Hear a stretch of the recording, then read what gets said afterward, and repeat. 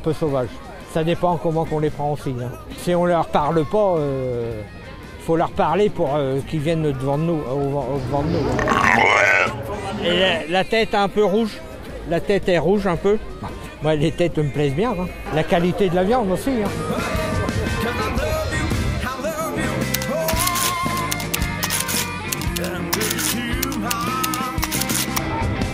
Très douce avec les enfants. Elle aime bien jouer avec les enfants.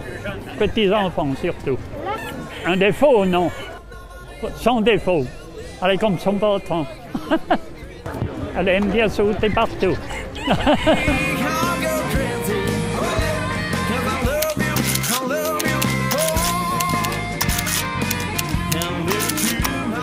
C'est un beau spécimen. Bah, c'est la multitude de points qui doivent, euh, sont- qui doivent être assez écartés sans être trop faire de plaques. c'est des lapins qui sont assez curieux quand même.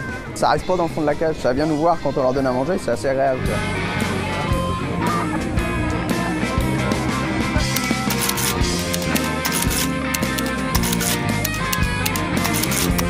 C'est pas agressif du tout par rapport à certains coqs. Son principal défaut, c'est qu'il est vraiment vilain quand il pleut, parce qu'il a les plumes, ils sont toutes, euh, toutes retroussées. Donc euh, il est vraiment moche quand il pleut. Qu'elle vive encore très longtemps et qu'elle finisse pas dans une casserole surtout. Et qu'elle- contente toutes les poules qu'il a.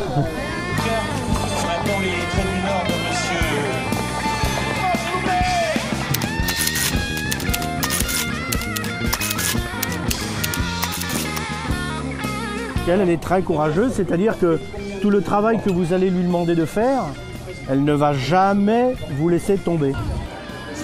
C'est une jument, on appelle ça très bien éclatée, c'est-à-dire pour euh, faire de la traction, il faut qu'elle ait un bon poitrail. Donc ça, c'est un avantage que j'apprécie beaucoup.